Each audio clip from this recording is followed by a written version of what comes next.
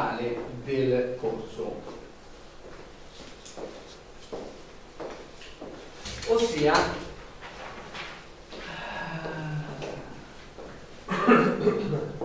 le lezioni che poi andremo a trattare con le nostre tecnologie.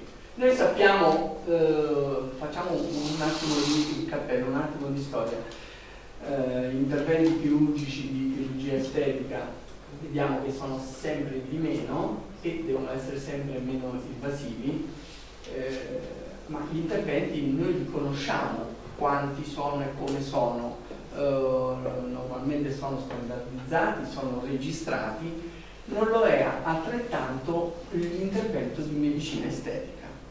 Eh, vi voglio oh, portare eh, questa, att questa attenzione che mentre ciò che è chirurgia plastica è ben definita, tutto ciò che è medicina estetica è poco riscontrabile. Non sappiamo quanti trattamenti di medicina estetica ad oggi vengono fatti in Italia. È poco definibile perché i medici estetici sono molti e tanti e non sono oh, ben registrati.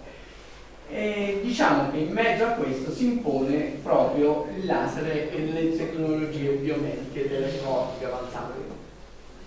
Qui parliamo di, di chiaramente eh, associazione tra uh, medico estetico e chirurgo plastico e quindi di quello che può fare la chirurgia plastica e quello che può fare la medicina estetica nell'ambito del distretto facciale Qui andiamo a vedere quello che nel distretto facciale può fare la tecnologia e ne vediamo che i, diciamo, i trattamenti sono molteplici.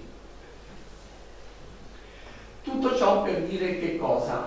Che eh, se eh, è bello un lifting e, e ci piace, più o meno chiaramente, ma determina una modifica di un tiraggio, perché non è altro che tirare la tuta, la cute, vedremo quanto può far bene e meglio oh, la tecnologia. Chiaramente delle orecchie a ventola ce le può fare solo un'autoplastica, eh, assolutamente come una rinoplastica ci può determinare un naso diverso. Eh, da chirurgo plastico chiaramente eh, vi faccio vedere quelli che sono alcuni dei risultati da una blefaroplastica. Uh, blefaroplastiche eh, o mentoplastica a quello che può fare invece la medicina estetica con i film, filler, eh, tossina e così via.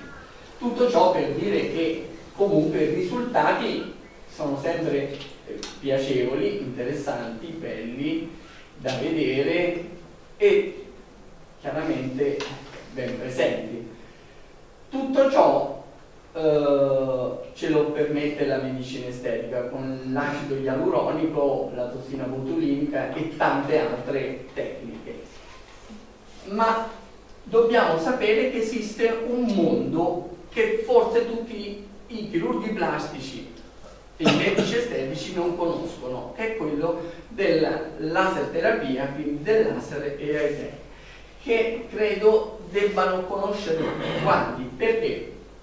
perché se è vero che alcune rughe si hanno per vari motivi, altri non tutte le, le, dobbiamo o le vogliamo togliere per forza, perché altrimenti vediamo quello che succede oggi in giro, vediamo delle persone sfigurate perché continuamente vanno a mettere eh, acido ialuronico, tossina botulina in eccesso, non so che cosa, ma vediamo dei mostri.